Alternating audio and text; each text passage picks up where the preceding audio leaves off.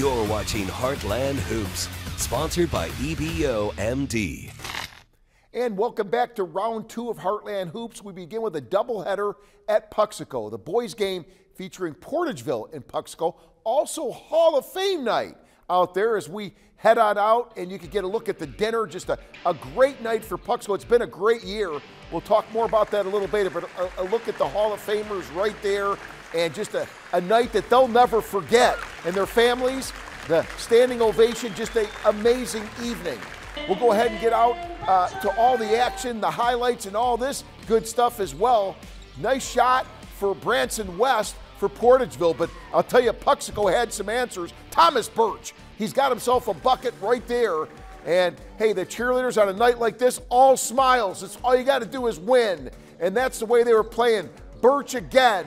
He gets it to go. Now, Jamarion Smith is going to play football at SEMO. He's also one heck of a basketball player gets two there for Portageville. But this was the night for Puxico. Jaden Mitchell, he hits the shot, and Puxico wins it. 62-53. They finish the season 20 and 5. First 20-win season since 2007. Way to go, guys. All right, to the girls' game.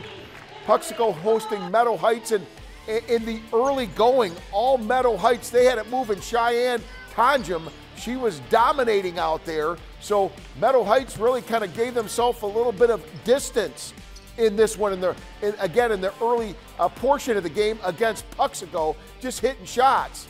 But Puxico would would come on back a little bit later. You see another long distance shot, but again, Puxico would get it going. Lady Porter and Laney Porter drives in, scores right there. A little bit later, Erica Wilkinson to tighten this game up. She would go ahead and get the bucket as well, but when it was all said and done, Meadow Heights hangs on. They went on the road, 54 to 51 the final. All right. Hey, some great plays to, to choose from, some great things happening around the Heartland period. But here's our play of the night on Heartland Hoops. And it's Jackson's Blaine Harris, a sharpshooter who hit the 1,000 point mark in a 71 to 68 loss to top ranked and undefeated Sykeston. Harris hitting the shots, hitting the 1,000 point mark. Way to go. Our Heartland Hoops play of the night. All right, we switch over to SEMO Gymnastics hosting a tri meet with Illinois State and Fisk University. So we're heading out to Houck Fieldhouse. It's a terrific atmosphere, and the Redhawks have accomplished some great things for Ashley Lawson, that gymnastics program that they've got going over there. And you're going to see a, a nice routine right here.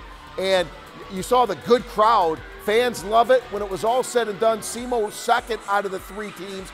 Illinois State with 194.5 points, excuse me. They had 195. SEMO finished with 193. Meanwhile, we finish up by talking about a little bit of baseball.